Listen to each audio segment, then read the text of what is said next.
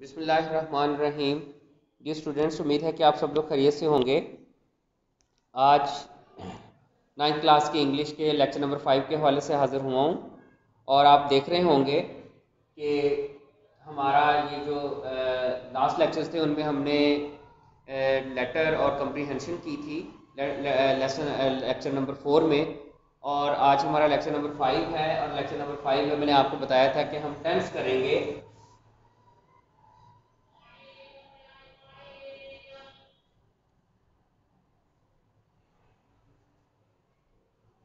Present perfect tense तो present perfect tense आपको पता है कि हमारा जो सेकेंड लैंग्वेज को हम जिस तरह लर्न करते हैं उसमें हम ग्रामर ट्रांसलेशन मेथड के थ्रू हम करते हैं। पहले आ, हम उसको देखते हैं कि हमारी इंग्लिश में जो उसकी निशानी होती है उस टेंस की फेल हाल मुकम्मल की वो क्या होती है? तो यहाँ पर मैंने कुछ थोड़ा सा बोर्ड को अरेंज करने की कोशिश की है आप लोगों के लिए पहले ताकि थोड़ा सा हम टाइम सेव कर लें और मैक्सिमम प्रैक्टिस जो है वो हम कर सकें सेंटेंसेस की। तो इसमें आप देख रहे होंगे, ये जो आपका यहाँ पर वर्ब एंड एज के जो वर्ब होता है मेन जो फिक्रे के अंदर वर्ब होता है, वो किस तरह हम देखते हैं उर्दू में, कि वो ख़त्म इख्ताम उसका होता है फिक्रे में, चुका है, चुकी है, चुके हैं, या कर लिया है, कर ली है, कर लिए हैं। जैसे मैं फिक्रा बोलता हूँ, मैंने काम ख़त्म कर लिया है, या मैं फिक्रा बोलता हूँ, मैं काम ख़त्म कर चुका हूँ तो ये दोनों सेंटेंस जो है वो एक ही टेंस को रिप्रेजेंट कर रहे हैं, जिसमें हाल ही में काम मुकम्मल हुआ है, यानी फेल हाल मुकम्मल को। तो यहाँ पर सबसे पहले जब हमें पहचान हो जाती है एक सेंटेंस की, कि वो सेंटेंस जो है, उर्दू में उसकी क्या पहचान है तो फिर उसको बनाने के लिए हमारे पास कुछ रूल्स होते हैं, जिनको हम लर्न करते हैं, और आने वाले टाइम में जब वो सेंटेंस हमारे सामने आता है तो हमें उन रूल्स की बुनियाद पर समझ आ जाती है, कि वो कौन से टेंस का फ़िक्र है और हमने उसको कैसे इंग्लिश में ट्रांसलेट करना है। या वो कौन सी टेंस का फिक्रा है और हमने कैसे उसको इंग्लिश से उर्दू में ट्रांसलेट करना है? या कैसे नया फिक्रा बनाना है? अब यहाँ पर हम देखते हैं कि जब हमारी, हमें पता चल गया, उसकी पहचान भी हमें आ गई, उसके बाद हमारा सेंटेंस भी बन गया तो उस सेंटेंस को बनाने का तरीका क्या है? तो यहाँ पर जो अगला स्टेप है, वो है इसका फार्मूला यानी इसको बनाते किस तरह है। सबसे पहले फिक्रे में काम करने वाला, यानी नाउन या प्रोनाउन होता है, उसको हम सेंटेंस के अंदर सब्जेक्ट बोलते हैं, काम करने वाले को वो आ जाता है।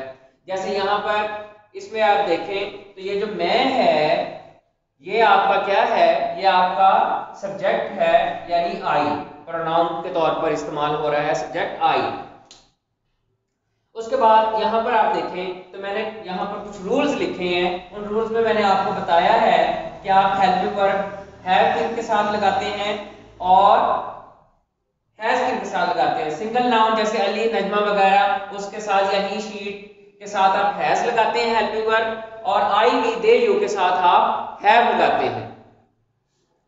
जब हमें यह भी क्लियर हो गया कि आई के साथ देखें, यहाँ पर आई के साथ हेल्पिंग वर्ब हैव लगना है तो यहाँ पर देखें आई हैव मैं काम खत्म कर चुका हूँ, उसके बाद आपको मैंने बताया कि वर्ब मुकम्मल में जितने भी टेंस होते हैं, याद रखिएगा प्रेजेंट परफेक्ट हो पास्ट परफेक्ट हो, या फ्यूचर परफेक्ट हो, उनमें जो वर्ब है, वो थर्ड फॉर्म ही लगती है।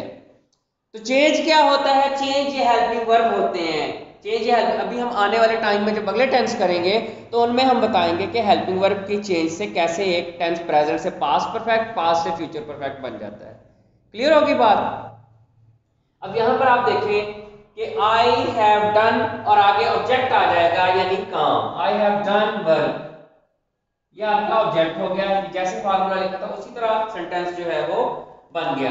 तो एक टेंस को समझने के लिए सबसे पहले आपने क्या करना होता है, उसके वर्ब को अंडरस्टैंड करना होता है कि वो वर्ब किस टेंस में बोला जाता है टेंस यानी किस जमाने में बोला जा रहा है। अगर इसी को मैं इसी सेंटेंस को आपने जो प्रीवियस टेंस पढ़े हैं कंटिन्यूस उसमें बदलना चाहूँ तो देखें कैसे बदला बदला जा रहा है। मैं काम खत्म कर मैंने काम खत्म कर लिया है मैं काम खत्म कर रहा हूँ। रहा हूँ जो है वो ये रहा हूँ कंटिन्यूटी को ज़ाहिर कर रहा है तो ये प्रेजेंट कंटिन्यूस हो गया। रहा था होता तो पास्ट कंटिन्यूस हो, होता। रहा होगा होता तो वो फ्यूचर कंटिन्यूस होता। तो ये मेन चीज़ जो होती है, वो क्या होती है? वर्ब को ही बदलना होता है, उसी से 12 टेंस आपके बनते हैं। तो प्रेजेंट परफेक्ट टेंस की निशानी पता चल गई, फिक्रा कैसे बनता है, ये पता चल गया, उसको ट्रांसलेट कैसे इंग्लिश में करते हैं, ये पता चल गया। और हेल्पिंग वर्ब हैज़ और हैव यूज़ होते हैं, इस प्रेजेंट परफेक्ट टेंस में। हैज़ किन प्रोनाउंस के साथ, या नाउन के साथ यूज़ होता है, और हैव किन के साथ यूज़ होता है, ये बता दिया। तो इस तरह हमारा प्रेजेंट परफेक्ट टेंस का सिंपल फिक्रा बनाने का जो फॉर्मूला था, वो कंप्लीट हो गया। अब हम आते हैं कि अगर इन्हीं सेंटेंस को प्रेजेंट परफेक्ट टेंस को हमने नेगेटिव सेंटेंस बनाना हो तो नेगेटिव सेंटेंस बनाने के लिए हम क्या करते हैं? इसमें कोई लंबी चौड़ी फार्मूला नहीं है, कोई बात नहीं है। मैं इसी सेंटेंस को नेगेटिव बनाकर आपको दिखाता हूँ। मैं काम खत्म नहीं कर चुका हूँ। आई हैव के बाद आपने यानी हेल्पिंग वर्ब के बाद क्या लगा देना है?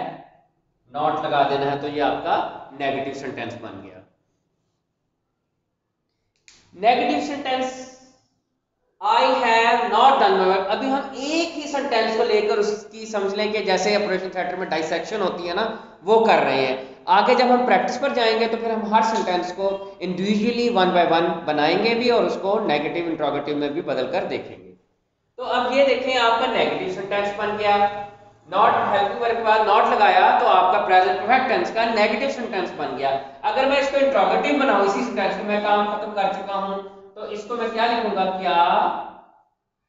मैं काम खत्म कर चुका हूँ। क्या मैं काम खत्म कर चुका हूँ? अब देखें आप, इसमें क्वेश्चन मार्क लगाना भी ज़रूरी है। तो इसका इंट्रोगेटिव कैसे बनाएँगे हम? इंट्रोगेटिव बनाने के लिए हम सिंपल ये है कि आपने पहले भी सेंटेंस सहारे किए हुए दूसरे टेंसेस के। क्या करेंगे? हेल्पिंग वर्ब को बाहर ले आएँगे कैसे? Have I done verb have I done verb ये इसका इंट्रोगेटिव हो गया। हेल्पिंग वर्ब को आपने बाहर ले आना है और बाकी सेंटेंस को सब्जेक्ट लगाकर एज इट इज़ लिख देना है। नॉट ज़ाहिर है इंट्रोगेटिव में खत्म हो जाएगा तो आपका ये सॉरी नेगेटिव इंट्रोगेटिव में नॉट खत्म हो जाएगा तो आपका ये interrogative have I done work बन गया। और अगर होता है, मैं, क्या मैं अपना काम खत्म नहीं कर चुका हूँ तो वो हो जाता है have I not have I not I के फ़ौरन बाद आपने नॉट लगा दिया तो वो नेगेटिव इंट्रोगेटिव सेंटेंस हो गया। तो इस तरह प्रेजेंट परफेक्ट टेंस की पहचान हुई। फिक्रा बनाया, फार्मूला देखा हेल्पिंग वर्ब कौन कौन से हैं, ये देखा हेल्पिंग वर्ब को यूज़ करते हुए सेंटेंस बनाया नेगेटिव बनाने के लिए हैव के बाद नॉट हैज़ हैव के बाद नॉट लगाया नेगेटिव बन गया और इंट्रोगेटिव बनाने के लिए हेल्पिंग वर्ब को शुरू में ले आया, जो हैज़ हैव कोई भी, जो भी हेल्पिंग वर्ब फिक्रे में हो, और उसके बाद आपने फिक्रा एज इट इज़ लिख दिया तो आपका इंट्रोगेटिव बन गया। ये है सिंपल जिसको आप सेंटेंस कहते हैं प्रेजेंट परफेक्ट टेंस का, वो सेंटेंस जो सिंपल सेंटेंस यानी एक्टिव सेंटेंस इसी तरह पैसिव वॉइस भी होते हैं इसके। पहले हम इसको, इसकी प्रैक्टिस करेंगे, फिर हम आगे नेक्स्ट उस पर जाएँगे नेक्स्ट कि हमने क्या करना है। अब आप देखें, आपकी जो पीटीबी की ग्रामर की बुक है, उसमें पेज नंबर 80 पर कुछ सेंटेंस पहले उन्होंने सॉल्व किए हैं, फिर आगे उसकी जो है प्रैक्टिस दी है एक्सरसाइज तो कुछ सेंटेंस हम इस जगह से सॉल्व से करते हैं। कुछ सेंटेंस जो है, फिर हम आगे आपके जो एक्सरसाइज है, उससे करेंगे, फिर बाकी आपको असाइन करेंगे घर के लिए। तो ये जो आपकी सॉल्व एक्सरसाइज है, पहले इसको करते हैं। ये मैं अब रूल्स आपके जो हैं मिटा मिटा देता हूँ, क्योंकि अगर आपने इसको दोबारा देखा तो आप लेक्चर्स को दोबारा भी सुन सकते हैं।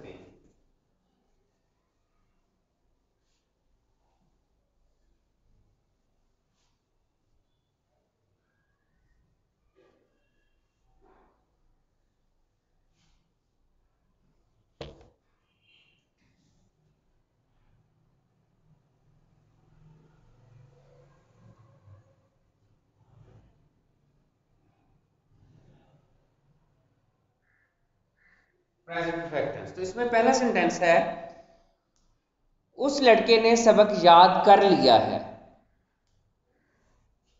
या आप लिखते हैं, लड़के ने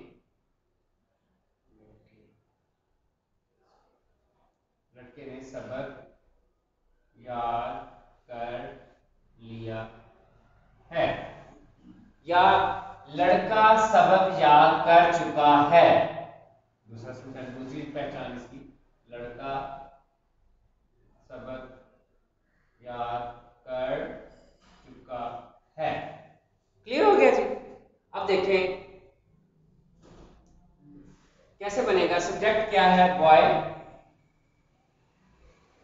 बॉय बॉय सिंगुलर है तो टू वर्ब क्या लगेगा? हैज़ थर्ड फॉर्म क्या है? लर्न की learn learn learn the boy has learn the lesson इसकी भी यही बन जाएगी। लड़के ने सबक याद नहीं किया है। The boy has not learn the lesson क्या लड़के ने सबक याद किया है? Has the boy learn the lesson ये आपका देखिए, एक सेंटेंस हमने लिया। आपकी जो बुक है, उसके अंदर पेज 80 पर ये एक्सरसाइज सॉल्व में दिया गया है। हमने एक सेंटेंस लिया, उसका सिंपल बनाया। सिंपल से हमने खुद ही से फिर नेगेटिव बना लिया और इंट्रोगेटिव बना लिया। जबकि बुक में तो सिर्फ़ सिंपल दिया हुआ है। क्यों बना लिया? क्योंकि हमने अभी तो रूल्स लर्न किए हैं तो उन रूल्स की बिहार पर हमको पता चल गया ये कैसे बनता है। नेक्स्ट सेंटेंस इस तरह है। उस लड़की ने कहानी लिख ली है। उस लड़की ने, उसकी इंग्लिश होती है दैट और ये की इंग्लिश होती है दिस यहाँ पर वो राइटर लिखा that girl has written a story उसके बाद नेक्स्ट सेंटेंस वो है, वो नज़र पढ़ा चुके हैं। They have taught the poem they के साथ हैव लगा क्योंकि प्लूरल है इस वजह से। तो ये आपकी जो एक्सरसाइज है, ये तकरीबन 15 सेंटेंसेस इसके बनते हैं। ये बेटा आपको अभी जब मैं डायरी साइन करूँगा तो उसमें मैं फिर आपको बताऊँगा, आप लोगों ने ये करने हैं। अब हम इसकी जो एक्सरसाइज है एक्सरसाइज पर चलते हैं। एक्सरसाइज के कुछ सेंटेंस जो अनसॉल्व हैं, वो करते हैं। तो इसमें जो पहला सेंटेंस है पेज नंबर 81 पर जो आपकी एक्सरसाइज है, उसमें पहला सेंटेंस जो है, वो है क्लॉक चार बजा चुका है। तो देखें आप क्लॉक चार बजा चुका है। द क्लॉक हैज़ आएगा हेड आएगा इसके साथ हैव आएगा हैज़ आएगा सिंगुलर है ना the clock has struck struck four clear होगी बात क्लॉक चार चुका है the clock has not struck four क्या क्लॉक चार बजा चुका है? Has the clock struck four simple बात। टेंस वही रहेगा फॉर्म ऑफ़ वर्ब वही रहेगी, सिर्फ़ आपने हेल्पिंग वर्ब को शुरू में लेना तो वो इंट्रोगेटिव बन जाएगा। एंड में क्वेश्चन मार्क भी डालना है आपने, अगर वो नहीं डालेंगे फिर मार्क्स उसके नहीं मिलते।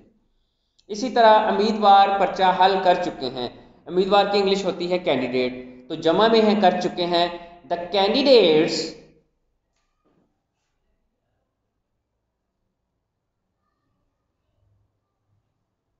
कैंडिडेट्स जमा में है तो हैव लगेगा। Have solve solve the paper the candidates have solve the paper उम्मीदवार पर्चा हल नहीं कर चुके हैं। The candidates have not solve the paper क्या उम्मीदवार पर्चा हल कर चुके हैं? Have the candidate solve the paper end में क्वेश्चन मार्क तो आपका एक सेंटेंस और मुकम्मल हो गया। इसी तरह मेहमान खुशी इनाम तकसीम कर चुका है। मेहमान खुशी किसे कहते हैं? गेस्ट ऑफ़ ऑनर नीचे वोकेबलरी लिखी भी हुई है। अगर आपको कोई ना है आप यहाँ से देख सकते हैं या पूछ भी सकते हैं। The guest of honour singular है तो क्या आएगा? The guest of honour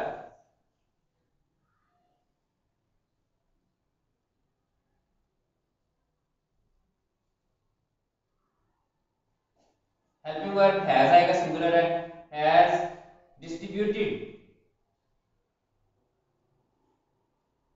distributed the prizes the guest of honour has not distributed the prizes इनाम तकसीम नहीं कर चुका है. Has the guest of honour distributed the prizes end में क्वेश्चन मार्क ये आपका इंट्रोगेटिव हो इसी तरह प्रिंसिपल ने तलबा को सनात दे दी हैं. टीम मैच खेल चुकी है. अदालत मेरे हक में फैसला कर चुकी है. ये सारे सेंटेंस प्रेजेंट परफेक्ट टेंस के हैं. आप लोगों ने अब क्या करना है आप लोगों को? मैं इस टेंस की अभी देखें, हमने जो डायरी की है, वो डायरी की है हमने प्रेजेंट परफेक्ट टेंस के सिंपल सेंटेंसेस की। और इसी को मैं आगे लेकर चल रहा हूँ और आपको मैं डायरी साइन कर रहा हूँ। आपकी डायरी होगी पेज नंबर डायरी यहाँ लिख देते हैं।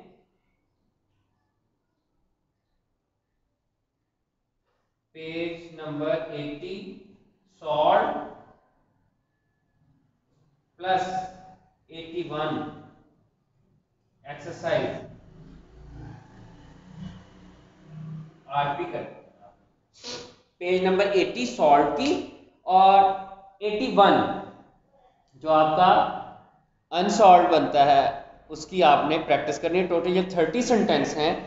जब इनशाला हम नेक्स्ट लेक्चर में आएँगे, अपना नेक्स्ट लेक्चर जो हम कंटिन्यू करेंगे, वो हम यहीं से कंटिन्यू करेंगे। इसी टेंस को दोबारा हम रिवाइज करेंगे एक दफ़ा। उसके बाद इसके जो आगे एक्सरसाइज सॉल्व है नेगेटिव की है, फिर उसकी अनसॉल्व आएगी, फिर इंट्रोगेटिव की सॉल्व है, फिर उसकी अनसॉल्व आएगी। तो हम सीक्वेंस के साथ उसको करेंगे और इंशाल्लाह इस टेंस को करने के बाद फिर हम नेक्स्ट लेटर और कंप्रीहेंशन पढ़ेंगे।